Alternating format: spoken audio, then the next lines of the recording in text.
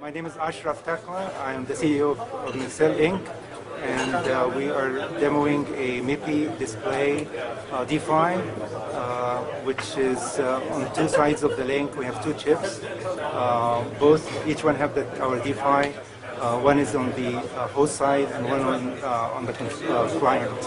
So we have two boards here.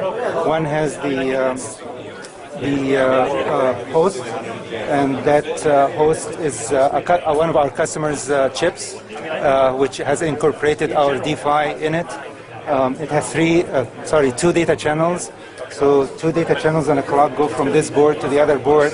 The other board is obviously the display.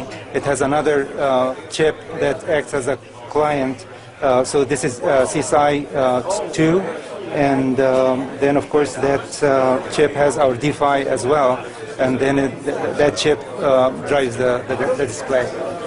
So that's basically the quick rundown.